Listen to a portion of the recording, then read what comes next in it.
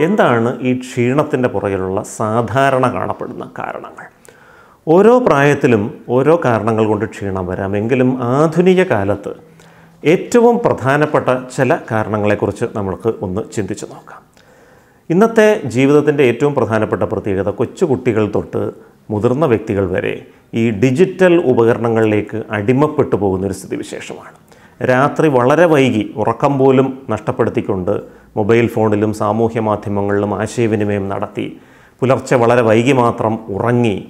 രാവിലെ ഉണർന്നെഴുന്നേറ്റ് എങ്ങനെയെങ്കിലുമൊക്കെ ഓടി ജോലി സ്ഥലത്ത് ചെല്ലുക അല്ലെങ്കിൽ വിദ്യാലയത്തിലേക്ക് പോവുക ഈ ഒരു രീതിയിലേക്ക് നല്ലൊരു ശതമാനം ആളുകൾ മാറിക്കൊണ്ടിരിക്കുന്നു. ക്ഷീണത്തിന്റെ ഏറ്റവും പ്രധാനപ്പെട്ട ഒരു കാരണം രാത്രിയിൽ കൃത്യമായ ഉറക്കം കിട്ടാതെ വരുന്നത് തന്നെയാണ്. ഓരോ പ്രായത്തിനനുസരിച്ച് ആവശ്യമുള്ള ഉറക്കത്തിന്റെ സമയത്തിൽ വ്യത്യാസം വരുന്നുണ്ട്. എങ്കിലും നമ്മളൊരു കൗമാരപ്രായത്തിലുള്ള ഒരു കുട്ടിയെ എടുത്തു കഴിഞ്ഞാൽ ഒരു എട്ട് മണിക്കൂർ ഉറങ്ങുന്നത് നല്ലതാണ്. ഇനി പതിനെട്ട് വയസ്സിന് ശേഷം ഈ വളരെ പ്രധാനപ്പെട്ട ചില വിദ്യാഭ്യാസ ഘട്ടങ്ങളിൽ നിൽക്കുന്ന കുട്ടികളാണെങ്കിൽ പോലും ചുരുങ്ങിയത് ആറ് മണിക്കൂറെങ്കിലും ഉറക്കം ആവശ്യമാണ്. എന്താണ് ഈ ഉറക്കത്തിന്റെ പ്രസക്തി? ഉറക്കം കൊണ്ട് രണ്ട് കാര്യങ്ങളാണ്. ഒന്ന് പകൽ സമയത്ത് വായിച്ചും പഠിച്ചുമൊക്കെ അറിയുന്ന വിവരങ്ങൾ തലച്ചോറിൽ ശേഖരിച്ചു വെക്കുന്ന പ്രവൃത്തി കൺസോളിഡേഷൻ ഓഫ് മെമ്മറി ഇത് രാത്രിയിൽ ഉറക്കത്തിന്റെ സമയത്താണ് നടക്കുന്നത്. ഇതിന് ചുരുങ്ങിയത് ആറു മണിക്കൂർ തുടർച്ചയായ ഉറക്കം വേണം.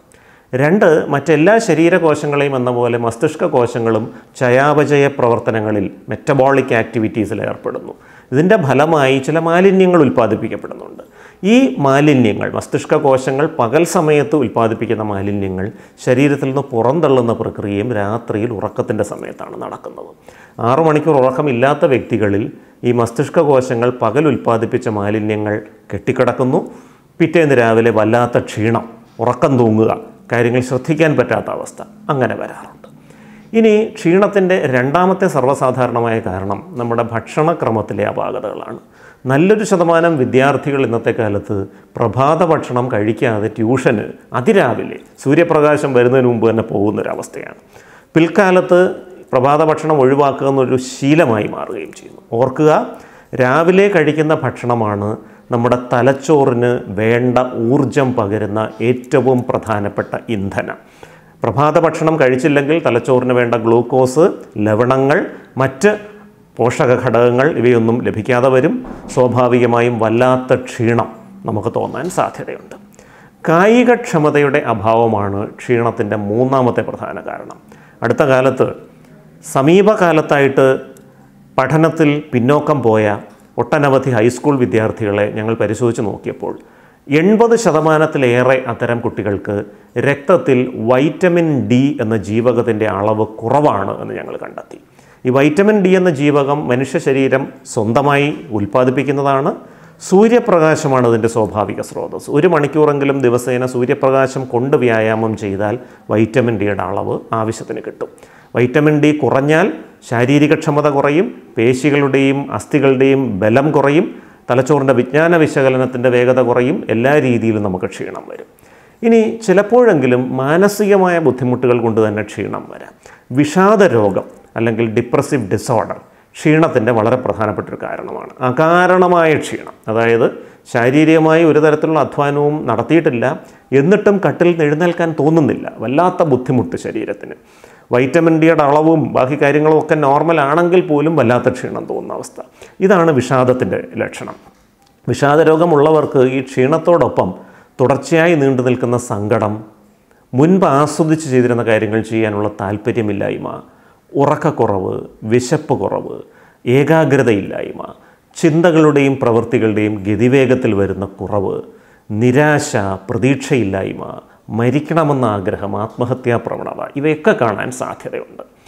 ഇനി ചില പ്രത്യേക തരത്തിലുള്ള ലവണങ്ങളുടെ അളവിലെ കുറവ് കൊണ്ട് തന്നെ ക്ഷീണം വരാം. ഇപ്പോൾ പ്രമേഹം ഉള്ളൊരു വ്യക്തി ഇൻസുലിൻ പോലെയുള്ള സംഗതികൾ എടുക്കുന്നു എന്ന് വിചാരിക്കുക.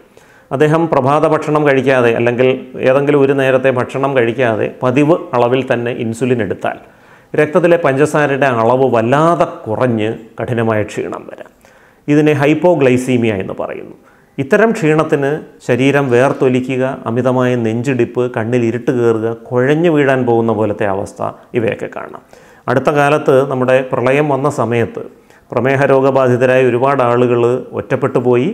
അവർക്ക് ഭക്ഷണം കിട്ടാതെ വന്നു പക്ഷേ അവർ നേരത്തെ എടുത്തിരുന്ന ഇൻസുലിൻ തന്നെ അതേ അളവിൽ എടുത്തുകൊണ്ടിരുന്നു. അവരിൽ ചിലർക്കൊക്കെ ഈ രക്തത്തിലെ പഞ്ചസാര വല്ലാതെ കുറഞ്ഞു പോയ ഹൈപ്പോഗ്ലൈസീമിയ വന്നിട്ടുണ്ട്.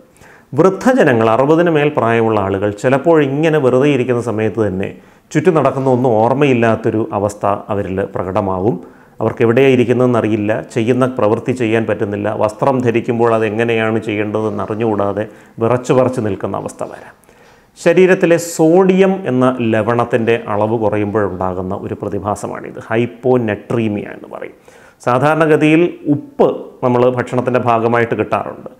പക്ഷേ ചില കാരണങ്ങൾ കൊണ്ട് കൃത്യമായിട്ട് ഉപ്പുള്ള ഭക്ഷണം കഴിക്കാൻ വരാതെ പറ്റാതെ വരുന്ന വ്യക്തികളിലും മറ്റും ഈ സോഡിയത്തിന്റെ അളവ് കുറഞ്ഞുള്ള ഈ ഹ്രസ്വനേരം നീണ്ടു നിൽക്കുന്ന ഈ സ്ഥലകാല ബോധമില്ലായ്മ വരും.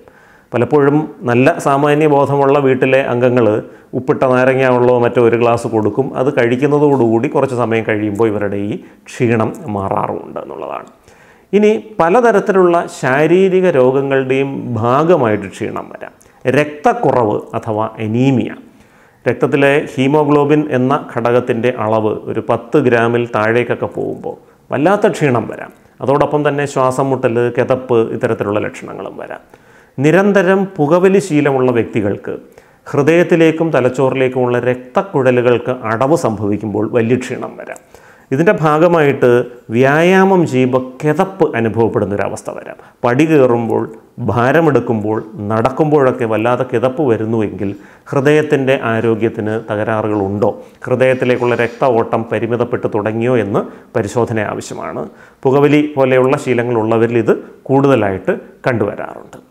ഇനി പലതരത്തിലുള്ള അണുബാധകളുടെയും പനികളുടെയും ഭാഗമായിട്ടും ക്ഷീണം വരാം. അപ്പോൾ നമുക്കറിയാം ഈ പകർച്ചപ്പനികളുടെ ഭാഗമായി ഉണ്ടാകുന്ന ഡെങ്കിപ്പനി അല്ലെങ്കിൽ ചിക്കൻ ഗുനിയ ഇത്തരത്തിലുള്ള പനികളൊക്കെ കഴിഞ്ഞതിന് ശേഷം പനിയിൽ നിന്ന് രക്ഷപ്പെട്ടതിന് ശേഷവും ദീർഘകാലം കഠിനമായ ശാരീരിക ക്ഷീണം ഉണ്ടാവാൻ സാധ്യതയുണ്ട്.